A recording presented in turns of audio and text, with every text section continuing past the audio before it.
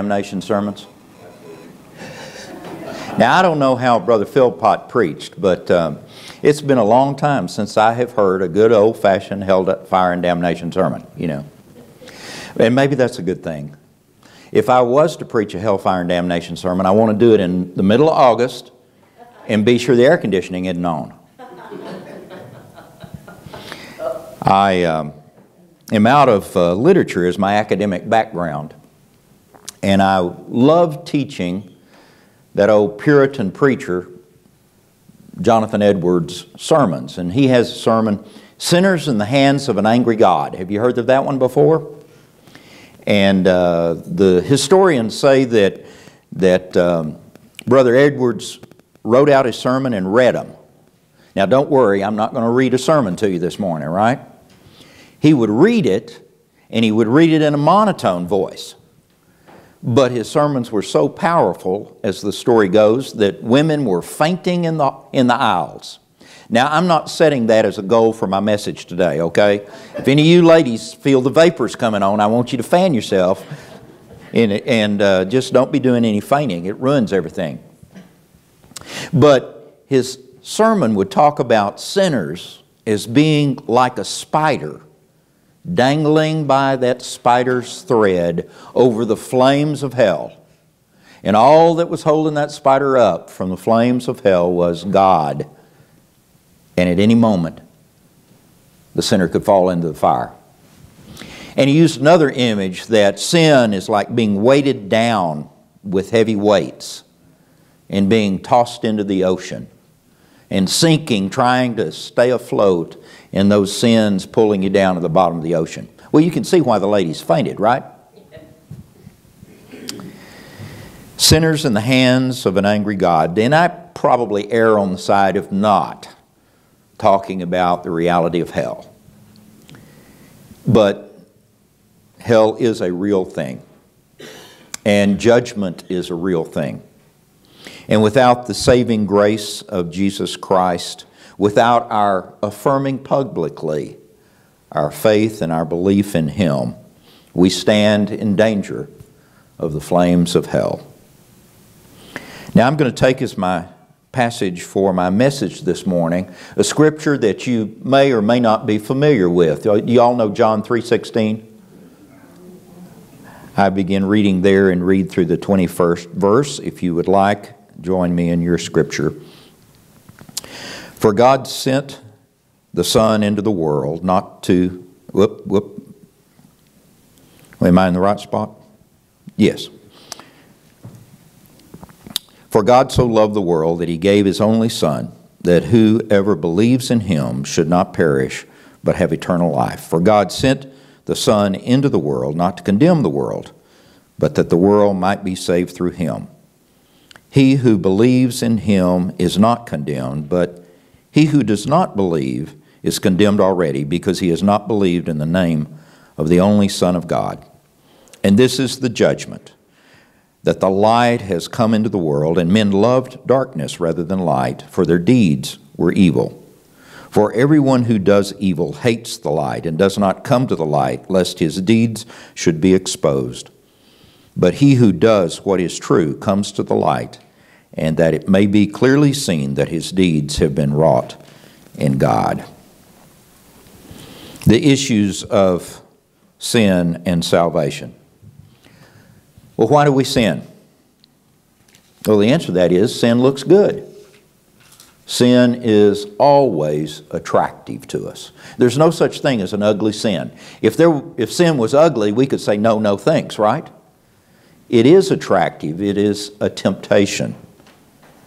Sin is attractive because it is a perversion of something that is genuinely good. Lust is a perversion of love. A caring and supportive attitude perverted by sin becomes possessiveness. A desire to succeed in life, to succeed, in career, perverted by sin, can become greed and materialism. Now, sin always looks attractive to us. We are drawn toward it, but it's a lie. Adam and Eve in the garden, that apple that Eve picked, looked pretty.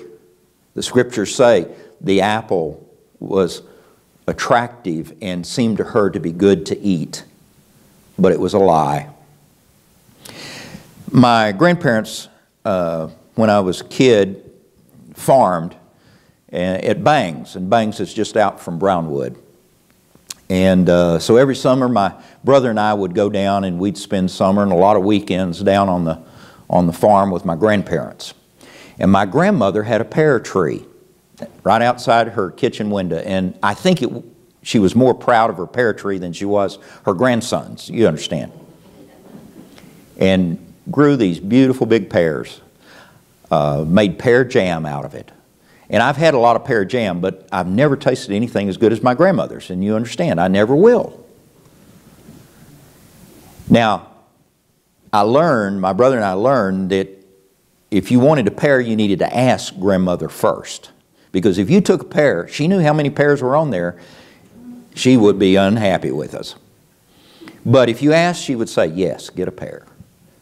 And you'd go out and you'd pluck a pear off. Well, you know, it wasn't many times of plucking pears that I discovered something. You needed to investigate that pear. You needed to look at it carefully, and if there was a little black hole somewhere on that pear, don't pick that one. You know why? Because there'd be a worm in there. Do you know what's worse than finding a worm in your pear? Oh, you've heard the joke. Half a pear, half a worm. Y'all aren't supposed to ruin my joke. That's right. That pear was beautiful and attractive, but it was rotten inside. And that's how sin is for us. You know, I think for Christians, when we sin, it's in those moments that we have forgotten that God so loved us that He sent His only Son to die for us. Christians sin because we don't remember. We forget in that moment and we sin. How is it that Jesus Christ, fully human, as much a human being as we are, you and I are, how is it that he lived a perfect life? How did he manage that? He didn't have any kind of special gift, any sort of magic wand that he could wave. No, he was a human being, fully human. How was he able to live his life without sin? I think it's because he never forgot. Not for one single second of his life did he forget the love of his Father God. And so every moment, in every moment, he remembered. And Jesus was tempted. The scriptures tell us he was tempted. Can you imagine, of all of the people of all of earth, who did the devil want to tip to sin the most? You think you and I are tempted? Our temptation, I think, is probably nothing like the temptation that the devil threw at Jesus Christ. Because if he could get him to sin, it would ruin God's plan. And in the midst of those temptations to sin, Christ never for a moment forgot his Father. And so I would say to you, do you think you can go 10 minutes without sinning? For 10 minutes, concentrate. Keep in your mind the fact that God so loved you, He gave you, He gave His Son for you to die for you. Yeah, you can do 10 minutes. What about half an hour? Well, if you really work on it, maybe half an hour, an hour, you think you could go a day without yielding to temptation? You know, the Bible tells us that we are to be perfect as Jesus Christ is perfect. Woo, that's a hard one. How do we do that? I would say to you, it's by remembering. You know, Paul says, in every moment, pray. Pray continually. Pray constantly. The way I understand that, he is saying, don't forget. And so when the temptation comes, don't forget that God so loved the world that he sent his son to die for us. And in that love, in that mindset, in that remembering, we can turn from the temptation and turn from the sin. We forget that God so loved us, and in that forgetting, we rebel. I've been um, in Christian higher education for almost 45 years. I've seen a lot of freshmen come off to college. You know, first time away from home. And you know what they do? Real quick, they forget what mom and dad told them. And they fall into temptations. And it's why I, I would say to you that Christian universities are so important because we help freshmen remember. When they get in trouble and they forget, we call them into the office and we remind them that God loved them and we try to head them back in the right direction. That happens in Christian universities. Not only do we forget and fall into sin, but we persist in it. We sin, and that sin leads on to more sin. I don't have to convince you that there's evil in the world, do I? We've already talked about that this morning. There's plenty of evil in this world. Only a fool would say there's not evil in the world. I mean, look around, really. And so not only have we sinned, but we persist in it. One of my favorite stories in the scriptures, story of prodigal son. You like that one? Uh, the prodigal son um, tells dad, I want my inheritance and I want it now. And dad gives him his inheritance and he goes off to the big city, we imagine, and he loses all of his wealth and ends up slopping hogs for a farmer. Now, for a good Jewish boy, there isn't a worse job in the world than taking care of hogs. And there he is. Well, I told you that I'm a, um, an old literature teacher, so I'm going to read you a poem. Now just get ready, all right? You're going to hear a poem this morning, it's a good one by Elizabeth Bishop. It's called The Prodigal. Now, sometimes mornings after drinking bouts, he hid the pints behind a two before the sunrise glazed the barnyard mud with red. The burning puddles seemed to reassure. And then he thought he, he almost might endure his exile another year or more. But evenings the first star came to warn. The farmer whom he worked for came at dark and shut the cows and horses in the barn, safe and companionable as in the ark. The pigs stuck out their little feet and snored. Carrying a bucket along a slimy board, he felt the bat's uncertain, staggering flight, his shuddering insights beyond his control touching him. But it took him a long time, finally, to make his mind up to go home. And that's us, isn't it? We know we're in sin. We know we're at places that we should not be, and yet we persist in it. Sometimes it takes us a long time to make our mind up to go home. Well, we sure know the, the results of sin, don't we? The wages of sin is death. All kinds of death physical death, and we know that sin can lead to physical death, but there's also death of our souls, death of peace, death of joy, death of self respect in our sin, and ultimately the death of eternal life. But we do gain some things in sin. We gain guilt. We gain fear. We gain ultimately an eternal death. I think one of the greatest driving forces of life is that fear of isolation, a fear of being alone. And that's exactly what death brings us.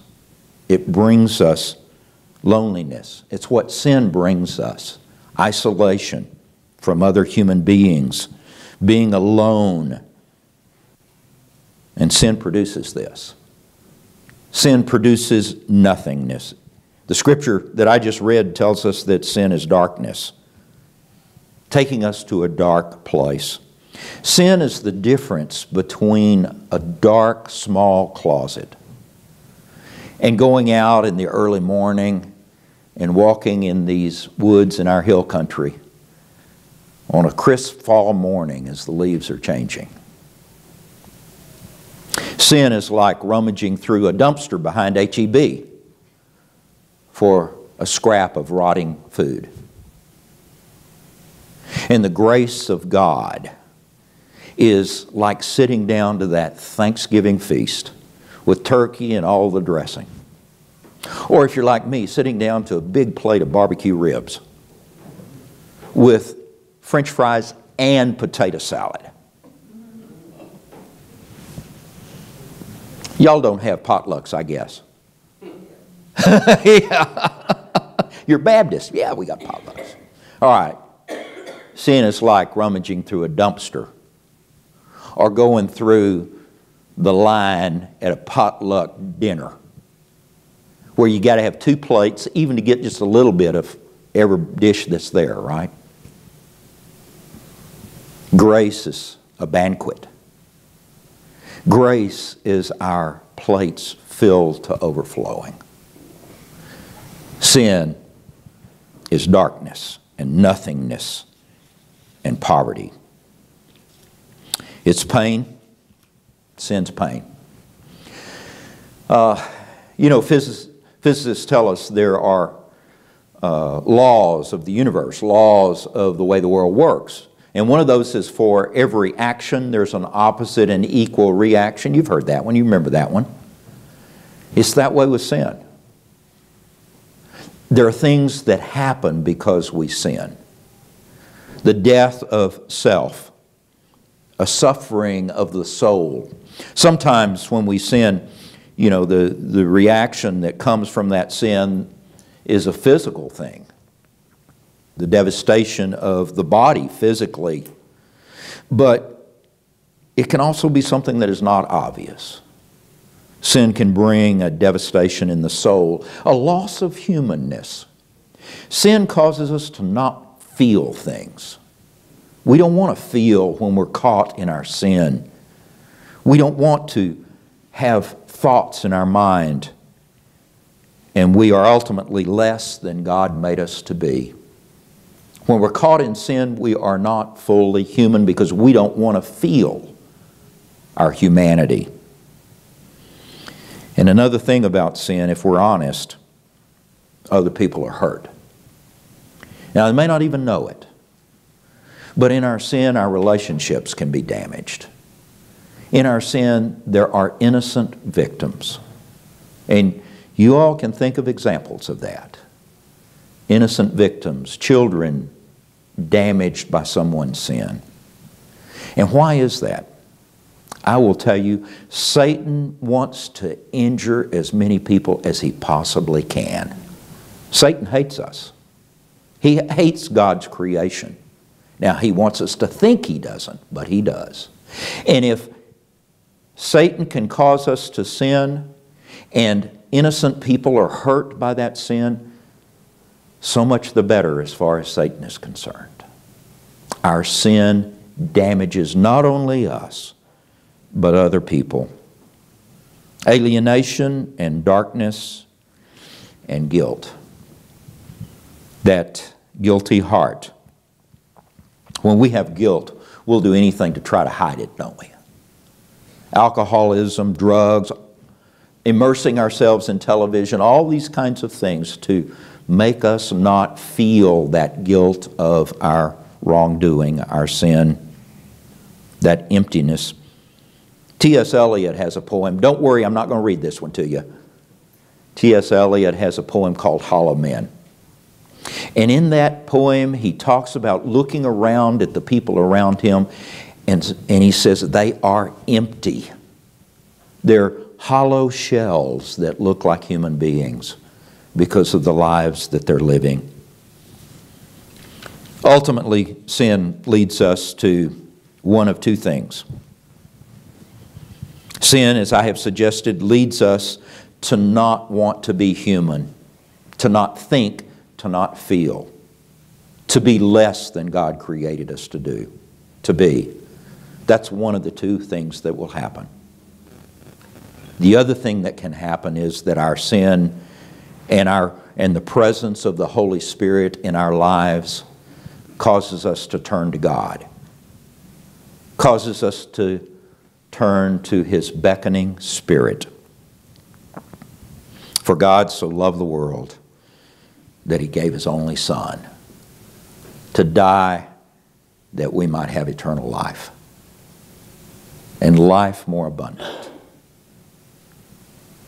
When you are a Christian and you are fully giving yourself to Christ, you are more human than you would have ever been in your life. Being in God means being more a full person, more empathetic with other people, more connected to the lives of those around you,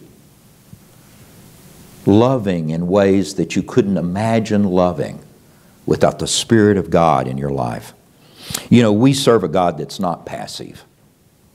I think about Buddhism and their image of God is Buddha sitting there in the lotus position with his fingers like this. Boy, what a God is that?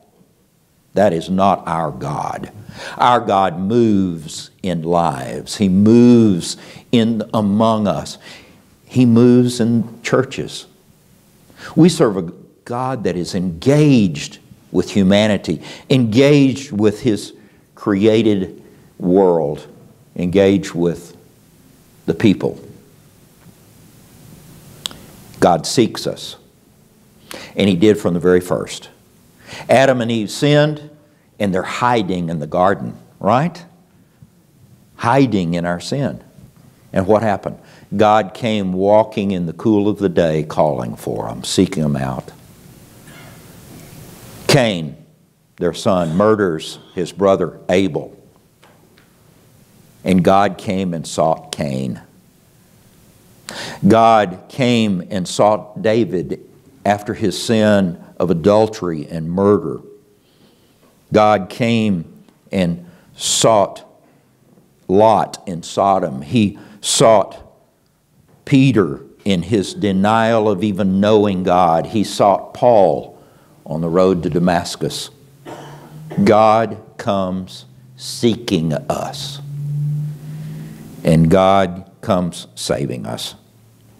Jesus Christ dying in agony on the cross for me. For me. Jesus Christ dying on the cross for you, for every single one of you in agony. Our guilt, our emptiness, our tendency toward being a prodigal son, our rebellion, all of our secret sins and lusts and hate. Jesus Christ died for us. But there's more than that. God sustains us too. We all know the challenges of life, the difficulties that we face the ups and the downs. But through it all, there is the sustaining grace and love of God. A theology professor at Samford University a number of years ago, Dr. John Killinger, spoke, and he told this story. And for me, it is the embodiment of God sustaining us through life. He said that there was a minister, a young minister, and one of the elderly men in his church was dying. This was a century ago, I suppose. The old man was in his daughter's home, dying of illness and, and suffering greatly in that. And the young minister went to the house to go in and visit the old fellow. And as the daughter let him in, she said, How's he doing? She, he said, she said, He's not good. He just is suffering so much. I hope you can help him. And so he goes in to see the elderly gentleman, and, and he, uh, he asked him how he's doing. He said, Oh, Pastor, it's hard. I'm hurting so bad. But worst of it is, I can't pray. I try, and I just don't feel the presence of God in my suffering here. And that's harder than anything. Young pastor prayed with the elderly gentleman, tried to minister to him as best he could, but he left feeling like he'd failed. Week goes by, he comes back to visit him again and asks the daughter, How is he doing? And she said, You know, he's still hurting as bad as he ever hurt, but something's changed. He, he's better. So he went in to, to see the old man, and sure enough, he was better. His spirits were, were renewed. And the, the young pastor finally said, Well, before you were in such a bad place, how is it that you're feeling better now? What's happened? And the old gentleman said, Well, you see this chair? And there was an empty chair sitting between his bed and the wall. And he said, I just, I had him put that chair there, and I just imagined Jesus sitting in the chair beside me, and I can talk to him. They had prayer together, and the minister left, came back a few days later when the old gentleman had passed. And he came in to visit the family and minister to them, and, and he said, You know, how was his passing? And she said, It, it was in the night, and it was peaceful but you know, the strangest thing, when we found him, he was lying with his head over in that chair. For God so loved the world that he gave his only Son to die for us and to sit in the chair beside us, to sustain us and strengthen us and gift us with His love and His presence. Pray with me.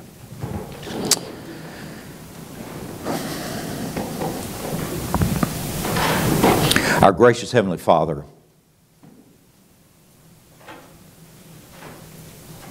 we're here today because you loved us so much that you sent your Son. And that you gave your Son to die on a cross for us. And Lord, we, uh, we know too often we forget that you did that. And we sin. And sometimes it takes us a long time to admit that it's sin and to turn from it and come to you and to receive afresh and anew your grace. So, Father, today, as a church, as individuals, we ask that your Spirit would come, that your Spirit would be powerful. And Lord, if, if we've got sin in our life, we ask that you'd bring it to our minds right now. What better place to come and confront our sin, to repent of it, than in church, among a people who all understand sin, but all who know your grace and your love. So, Father, forgive us where we fail in our sin. But, Lord, Lord, we ask that not only do we accept your grace and your forgiveness, but we accept your spirit and your empowerment, that we might be fully human and feel what you made us to be completely perfect before your eyes because of the shed blood of Jesus. And so, Father, we ask your Spirit to be powerful. That you would lead us, Father, to give ourselves anew to you. In Christ's name we pray. Amen. Amen. You know, church is about, um, about worship. And don't come to church without finding God. We've sung our hymns, and you've heard me do my best at preaching. But this is the place where worship really can happen. As we have an invitation, you search your heart. You seek where you need to find God to come in and bring light. Don't leave this sanctuary today with any darkness left. Let's stand together as we sing. You respond as the Lord leads. Number 309.